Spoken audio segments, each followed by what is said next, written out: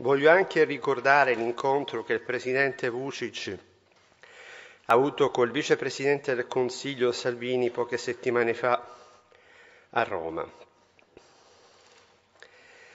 Dal punto di vista culturale numerosi eventi hanno segnato questa prima metà del 2019.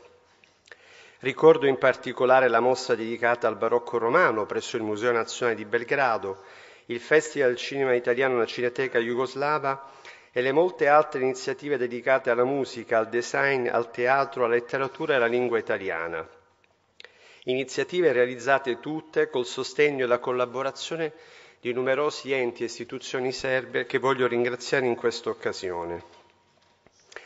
Il convegno odierno ci permette di dare profondità e prospettiva al duplice anniversario che festeggiamo quest'anno.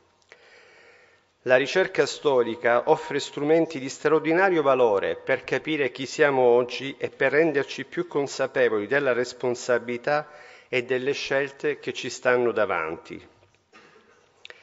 L'intento ultimo è quello di considerare le date fondanti del rapporto di amicizia tra i nostri due paesi come occasione di ricerca e approfondimento di un rapporto che affonda le radici nella comune storia europea. E voglio sottolinearlo, comune storia europea.